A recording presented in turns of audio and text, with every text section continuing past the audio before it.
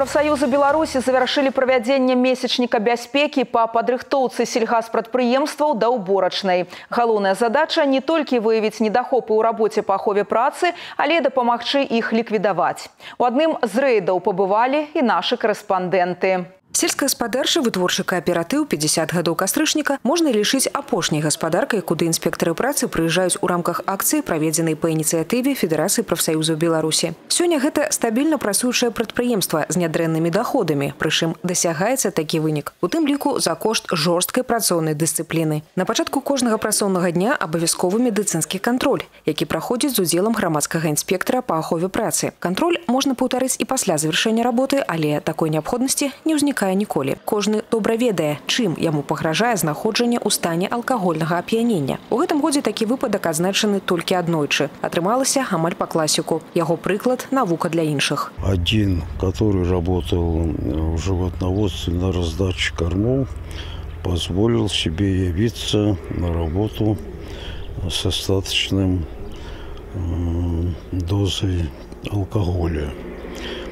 Ну, с таким человеком, естественно, он лишен прав, он лишен дополнительной оплаты, он лишен, естественно, классности, которую получал, он потерял очень большую сумму денег.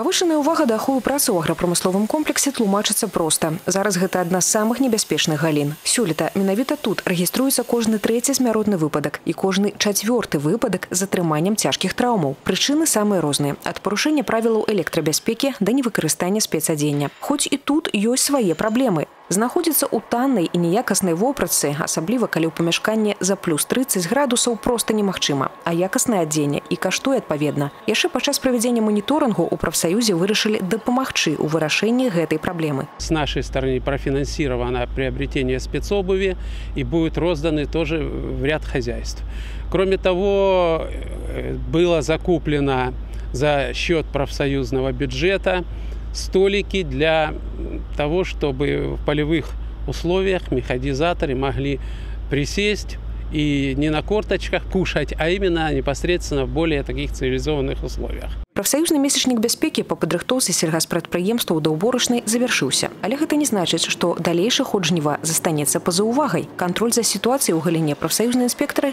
працягнуць у саставе мабільных груп райвыканкамаў. Алег Сенцюров, Ольга Канавалова, Валерый Гапанько, тэлерадыокампанія Гомель, Рэчаскі раён.